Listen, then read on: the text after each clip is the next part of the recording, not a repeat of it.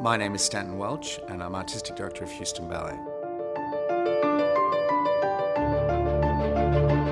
Prior to deciding to be a dancer, I wanted to be an actor, and so I was in acting school and had some small television work.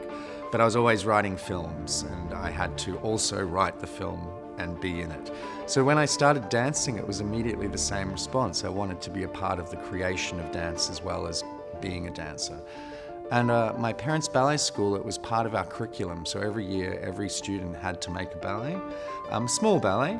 Um, but from that, I, I, got the bug, and uh, I just knew I, I needed to make it as well as be in it.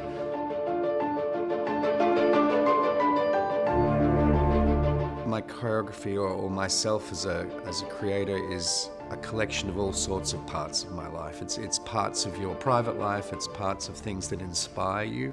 Um, I love film, I love art, I love walking, uh, nature, uh, gardening. There's a lot of things I think that somehow still come in and, and connect to, to ballet.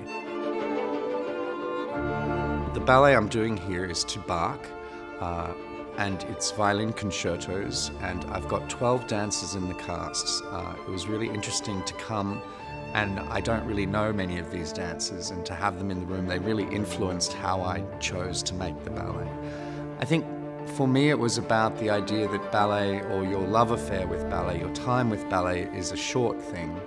And, and dance keeps moving on, and your time with it is this little section, but eventually you lay down and, and dance keeps keeps moving and it's this bittersweet wonderful feeling I'd love to say that you always go in with a, a plan and I do but what happens is always a, a surprise you learn something about yourself as you make the work I think dancers learn about themselves um, and I think you know it it'll it'll really be uh, an interesting time to have these choreographers together feeling unbound because we're not restricted by where we work or our responsibilities as directors. This is just about creation.